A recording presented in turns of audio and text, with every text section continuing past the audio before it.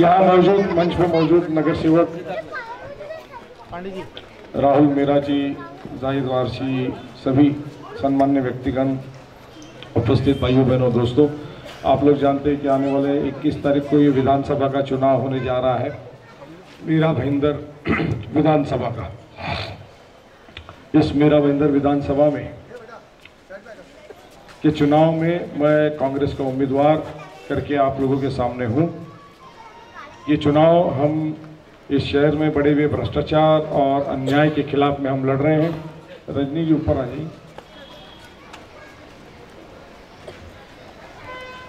भ्रष्टाचार और अन्याय के विरुद्ध में हम ये जो है चुनाव लड़ रहे हैं। और इस शहर में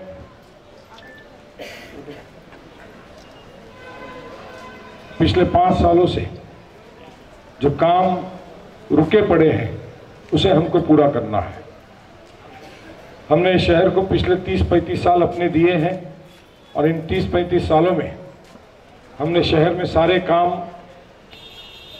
वाटर, गटर, मीटर, रास्ता, रेलवे, बस, स्मशान, कब्रिस्तान, burial ground, hospital, nursing home, blood bank, library, morgue room, जो काम है शहर में कहेंगे, underground drainage system BEST bus TMT bus ST bus municipality की बस हर काम हमने पिछले 30-35 सालों में की है। ये शहर का एक नक्शा 25 साल पहले बना और उसके बाद इसके अमल बजावनी इस पर हुई और तब जाके ये शहर तैयार हुआ। शहर कोई पाँच साल में नहीं बना है। अगर ये कोई आके कहता है कि शहर मैंने पाँच साल में बनाया है तो क्या आप इस बात को मारोगे कि शहर पाँच साल में बना है? मगर पाँच साल में इस शहर को लूटा ज़रूर गया है। भ्रष्टाचार बड़ा है, अन्याय बड़ा है। दुकान वाला हो, हाथ गाड़ी वाला हो, रिक्शा वाला हो, मकान मालिक हो, स्टेट एजेंट हो, बिल्डर हो, ज़मीन वाला हो, इंडस्ट्री वाला हो, हर आदमी परेशान और दुखी है। और एक आदमी से दुखी है। शहर में बड़े हुए इस अन्याय के खिलाफ में हम लड़ाई लड़ रहे हैं। और मैं चाहूँगा कि आप लोग हमारा इसमें साथ दें। इस भ्रष्टाचार को खत्म करना है, इस अन्याय को खत्म करना है।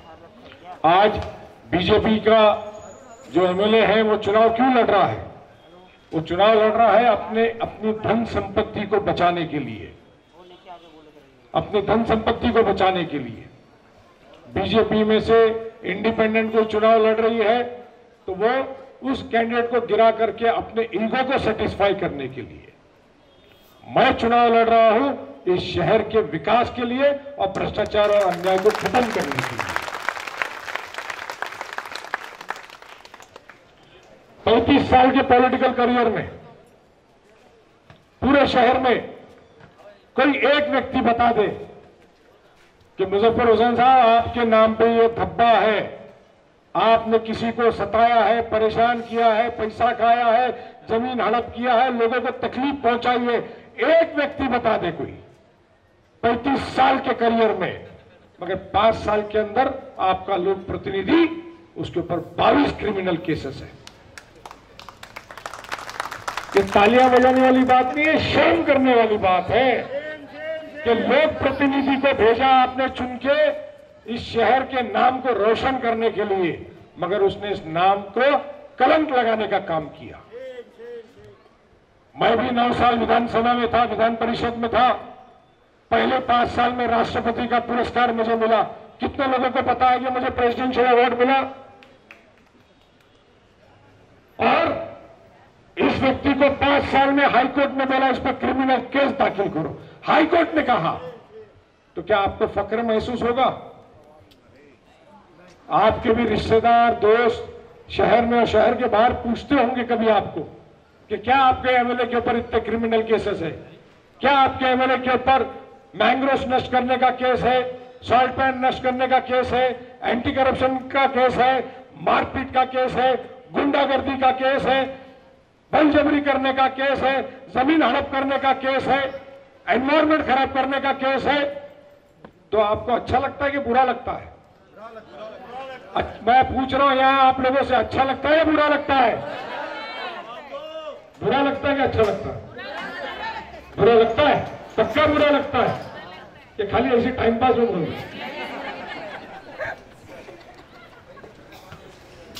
आपको आपके शहर में लोक प्रतिनिधि, आपको इस चुनाव में कैसे चुनना है, इसका फैसला आपको 21 तारीख को करना है। कि जिसने 30-35 साल राजनीति करी और समाज की, लोगों की सेवा करी, सभी धर्म के लोगों को इकट्ठा और संगठित रखा, वैसा व्यक्ति आपको, आपका प्रतिनिधि करके चाहिए कि आपको ऐसा व्यक्ति चाहिए जिसने पाँच साल में शहर को लूटा लूटा और सिर्फ़ लूटा। लूटने के अलावा दूसरा कोई काम नहीं किया। मैंने एक तकरीर में कहा था कि जिसने शहर को लूटा है, अब उसे लूटने का वक्त आया है। आपके भी इलाके में आएँगे। आपकी सोसाइटी को गेट लगा देता हूँ, कलर कर देता हूँ, ये कर देता हूँ, मंदिर को पैसा देता हूँ, मस्जिद को देता हूँ, गुरुद्वारे को देता हूँ, मदरसे को देता हूँ। तुम्हारा छपरा बना देता हूँ, तुम्हारा छपरा निकाल देता हूँ। अगर ऐसा कहने वाला कोई आएगा तो उससे पिछले पाँच साल में जब उन्होंने मैनिफेस्टो बनाया था, जाहिरनामा बनाया था, उसके काम के बारे में पूछेगा कि ऐसा टोल नाका क्यों नहीं निकला? मुझे वो टोल नाका निकालना है। ये मेरा निर्धार है अगले पाँच साल का। मीरा रोड से लोकल ट्रेन छोड़नी है चाहिए, नहीं चाहिए? मीरा रोड से लोकल शुरू करनी है। आप पे गार्बेज का डबल टैक्स लगा है। गब्बर सिंह टैक्स मालूम है? उसे हटाना है। शहर में पानी कम हो गया है, मगर पानी का बिल डबल हो गया। पता है आपको? 25 टका कमीशन खाया जाता है म्यूनसिपालिटी में। मालूम है आपको? साढ़े सात सौ करोड़ रुपए का कर्जा म्यूनसिपालिटी के ऊपर हो चुका है, पाँच साल में।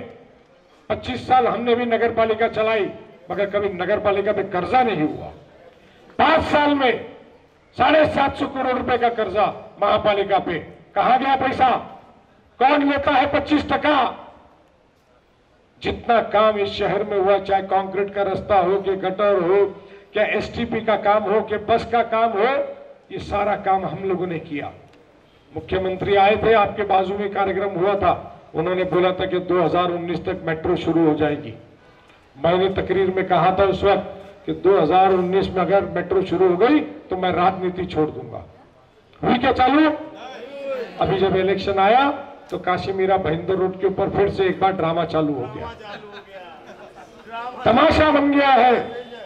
इलेक्शन आया कि अनाउंसमेंट चालू होर्डिंग लगना चालू, मंत्री आते हैं, मुख्यमंत्री आते हैं। पाँच साल में पंडित भीमसेन जोशी अस्पताल, तीन बार, चार बार कार्यक्रम हो गए। कभी ये सरकार को दे रहे, कभी सरकार इनको वापस दे रही। मगर अस्पताल में कोई व्यवस्था नहीं है। हमने अस्पताल बनाया, अपने एमएलसी फंड से बनाया था। इंदिरा गांधी हॉस्पिटल। सात डायलिसिस की मशीन दी, साढ़े तीन हज़ार लोग डायलिसिस करते हैं आज भी। ओपीडी चालीस हज़ार लोग ओपीडी की दवा लेते हैं। राजीव गांधी ब्लड बैंक बनाया, पूरे शहर में एक ही ब्लड बैंक है। लाइब्रेरी बनाए बीस हज़ार स्क्वायर फीट की, उसमें लाखों, हज़ारों बच्चों ने तालीम हासिल करी। इन लोगों ने क्या किया? तो बीस हज़ार स्क्वायर फीट की लाइब्रेरी को बंद कर दिया, दस हज़ार स्क्वायर फीट में म्यूनिसपालिटी का दफ्तर बना दिया।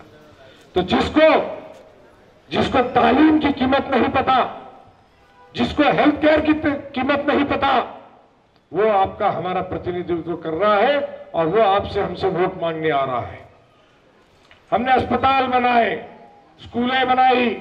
हमारे स्कूल की फ़ीस आज खाली पाँच सात सौ रुपया महीना है। इनकी स्कूल की फ़ीस कितनी है? लाखों रुपए में। हमारे उर्दू स्कूल आज भी पचास रुपए में चलती है। हज़ारों बच्चों को मेरे स्कूल और संस्था के माध्यम से मीरा भयंदर की पंचहत्तर स्कूलों के अंदर मैं फ़ीस भरता हूँ बच्चों की। मगर हमने कभी इसका तमाशा नहीं किया। हमने कभी बोर्ड नहीं लगा कि मुझे गर्व है, क्योंकि हम इसे अपनी जाती ज़िम्मेदारी समझते हैं। कौम के लिए, लोगों के लिए, उम्मत के लिए, आवाम के लिए। चाहे किसी मज़हब का आदमी हो चाहे किसी धर्म का हो, भाषा का हो, प्रांत का हो, हमने किया। छह करोड़ रुपए अपने लगा करके 2000 के साल में ये स्मशान, कब्रस्तान परेड ग्राउंड और जॉगस पार्क मैंने बनाया था। अपना जाति पैसा लगा के म्यूनसिपालिटी और एमएलसी का पैसा नहीं। म्यूनसिपालिटी और एमएलसी का पैसा नहीं। जाति पैसा। और 20 साल तक हर महीने लाखों रुपया खर्चा करके उसको मेंटेन किया। अब इन्होंने क्या किया? बहुमत के आधार पे मेंटेनेंस हमारे से ले लिया। ठीक है, कोई बात नहीं। हमारे नाम के फलक लगे थे बोर्ड लगे थे, वो निकाल के फेंक दिया। मैंने कहा, आप फेंक दीजिए।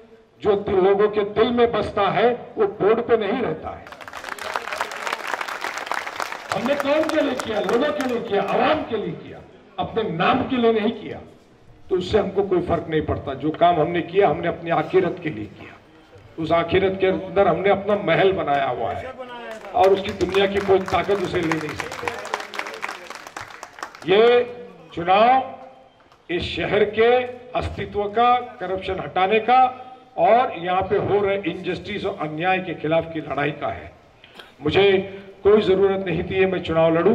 वर्किंग प्रेसिडेंट हूँ आज कांग्रेस पार्टी का स्टेट लेवल का। जो लड़का, जो इंसान इस गाँव में, इस शहर में एक वार्ड का प्रेसिडेंट था मैं 1985 में। सिर्फ़ वार्ड तभी 11000 की आबादी थी नया मीरा रोड की। सिर्फ़ 11000 वहाँ से उठ करके 25 साल में मैं अगर स्टेट का प्रेसिडेंट बना, दो बार एमएलसी बना, राष्ट्रपति का पुरस्कार हासिल किया, डेप्यूटी मेयर बना, नगर सेवक बना तो उसके बाद मुझे चुनाव लड़ने की ज़रूरत नहीं थी, मगर लोग मेरे पास आते थे।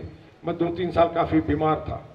लोग मेरे पास आते थे और मुझसे कहते थे कि मुजफ्फर भाई आपको चुनाव लड़ना पड़ेगा और ये लोगों पे अन्याय जो हो रहा है, इसे आपको दूर करना पड़ेगा।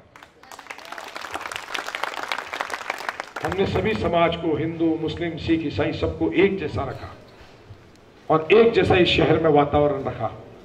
चाहे इक्यानवे के दंगे हुए हो, बाबरी मस्जिद का मसला हुआ हो कि उसके पहले 84 के हादसे हुए हो या 2006 में ट्रेन के ब्लास्ट हुए हो मगर ऊपर वाले का कर्म है कि लोगों ने हमारी बात को माना और इस शहर के अंदर अमन और शांति हमेशा बनी रही।